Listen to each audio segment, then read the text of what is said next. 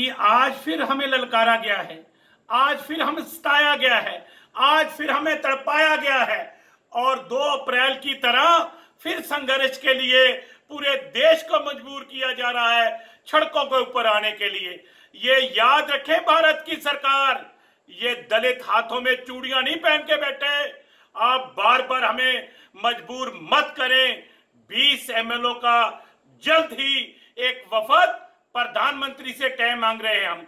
गृह मंत्री से टाइम मांग रहे हैं हम। हम चाहते हैं कि जो भी दोषी हैं, उनके खिलाफ कार्रवाई हो और गुरु रविदास का मंदिर वहाँ स्थापित हो।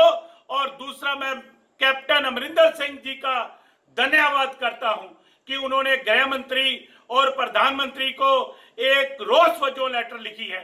और मैं चाहूँगा कि दूसरी पार्टियों के लोग भी हमारे संघर्ष में हमारा साथ दे और दलित कौम के दुखांत में एक प्लेटफॉर्म में आए, आपका मैं धन्यवाद करूँगा।